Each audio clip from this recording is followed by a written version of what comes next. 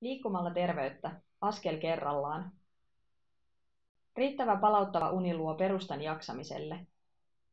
Kun herät virkeänä, tiedät nukkuneesi tarpeeksi. Unesta ei kannata tinkiä. Tauota paikallaoloa aina kuin voit. Vaihda asentoa, nouse ylös, jaloittele. Kaikki liike lasketaan. Liikuskele mahdollisimman usein. Arki tarjoaa monia mahdollisuuksia kevyeen liikuskeluun. Reipasta liikkumista tulisi kertyä ainakin kaksi ja puoli tuntia viikossa. Kaikki sydämesi sykettä nopeuttava liikkuminen kelpaa. Saat samat terveyshyödyt lyhyemmässä ajassa, kun lisäät liikkumisesi tehoa.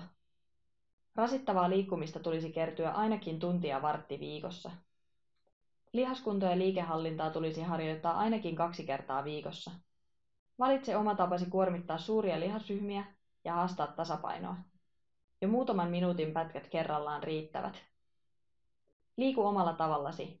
Joka päivä. Viikoittainen liikkumisen suositus 18-64-vuotiaille. ukkinstituutti.fi kautta liikkumisen suositus.